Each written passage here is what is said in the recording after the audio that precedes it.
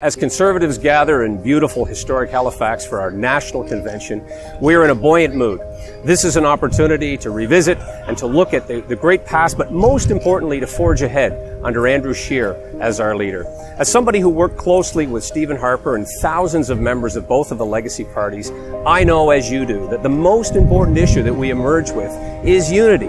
Andrew Scheer as our leader is somebody with great experience, intelligence, and a vision for this great country.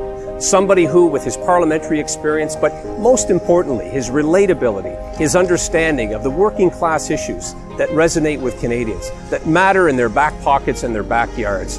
As we prepare for the 2019 election, which is now just over a year away, we want to be focused, we want to be together, and we want to present Canadians with ideas and policies and pragmatic positions that will get them, their families, their businesses in a better place.